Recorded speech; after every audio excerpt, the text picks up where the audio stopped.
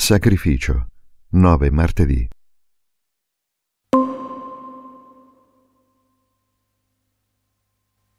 Mia madre è buona e mia sorella Silvia è come lei, ha lo stesso cuore grande e gentile.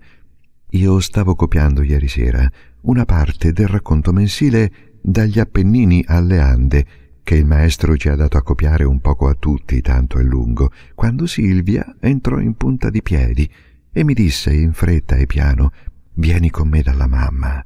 Li ho sentiti stamani che discorrevano. Al babbo è andato male un affare. Era addolorato. La mamma gli faceva coraggio. Siamo nelle strettezze, capisci? Non ci sono più denari. Il babbo diceva che bisognava fare dei sacrifici per rimettersi. Ora bisogna che facciamo anche noi dei sacrifici, non è vero? Sei pronto? Bene, Parlo alla mamma e tu accenna di sì e promettile sul tuo onore che farai tutto quello che dirò io. Detto questo, mi prese per mano e mi condusse da nostra madre che stava cucendo tutta pensierosa. Io sedetti da una parte del sofà, Silvia sedette dall'altra e subito disse Senti mamma, ho da parlarti. Abbiamo da parlarti tutti e due.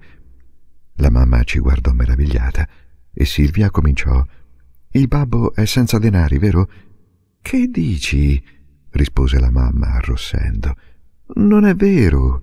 Che ne sai tu? Chi te l'ha detto? Lo so, disse Silvia risoluta. Ebbene, senti, mamma, dobbiamo fare dei sacrifici anche noi. Tu m'avevi promesso un ventaglio per la fin di maggio e Enrico aspettava la sua scatola di colori. Non vogliamo più nulla. Non vogliamo che si sprechino i soldi. Saremo contenti lo stesso, hai capito?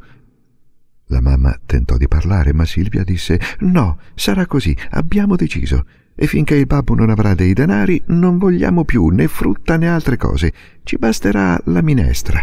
E la mattina a colazione mangeremo del pane, così si spenderà meno a tavola, che già spendiamo troppo, e noi ti promettiamo che ci vedrai sempre contenti ad un modo. Non è vero, Enrico? Io risposi di sì sempre contenti ad un modo, ripeté Silvia chiudendo la bocca alla mamma con una mano. E se c'è altri sacrifici da fare, o nel vestire o in altro, noi li faremo volentieri e vendiamo anche i nostri regali. Io do tutte le mie cose. Ti servo io da cameriera, non daremo più nulla a fare fuori di casa. Lavorerò con te tutto il giorno, farò tutto quello che vorrai, sono disposta a tutto, a tutto, esclamò gettando le braccia al collo a mia madre purché il babbo e la mamma non abbiano più dispiaceri, purché io torni a vedervi tutti e due tranquilli, di buon umore come prima, in mezzo alla vostra Silvia e al vostro Enrico, che vi vogliono tanto bene che darebbero la loro vita per voi. Ah, io non vidi mai mia madre così contenta come a sentir quelle parole.